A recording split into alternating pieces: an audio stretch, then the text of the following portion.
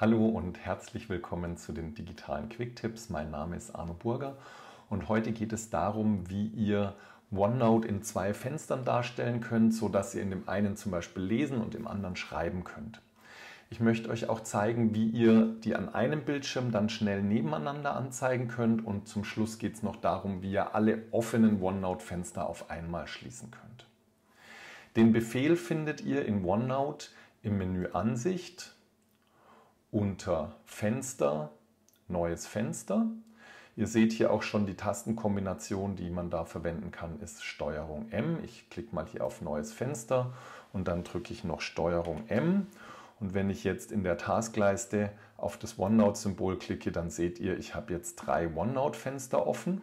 Und jetzt gibt es hier auch noch einen Trick über die Taskleiste. Mit einem Rechtsklick auf die Taskleiste kann man auch den Befehl OneNote aufrufen. Dann geht noch ein Fenster auf. Ihr seht, jetzt sind es vier. Und wenn man auf diesem Symbol die, das Rädchen drückt, also nicht eine normale Taste, sondern das Rädchen, dann seht ihr, geht auch noch ein OneNote-Fenster auf.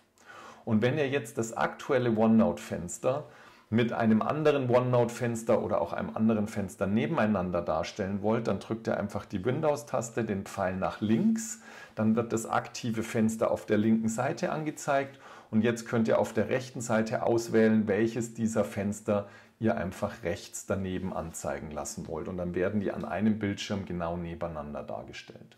Wenn ihr mehrere Bildschirme habt, könnt ihr die natürlich auch auf die verschiedenen Bildschirme verteilen.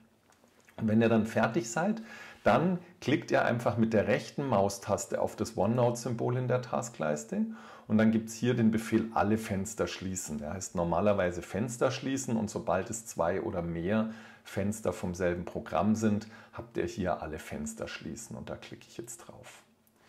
Diese Funktion habt ihr übrigens auch in allen möglichen anderen Programmen wie Word, Excel, PowerPoint. Sie finden sich manchmal an anderen Stellen, aber die Funktionalität ist dort auch da. Ich hoffe, es hat euch gefallen. Dann hinterlasst mir gerne einen Like. Ansonsten vielen Dank fürs Zuschauen, viel Spaß beim Ausprobieren und bis bald. Ciao, euer Arno.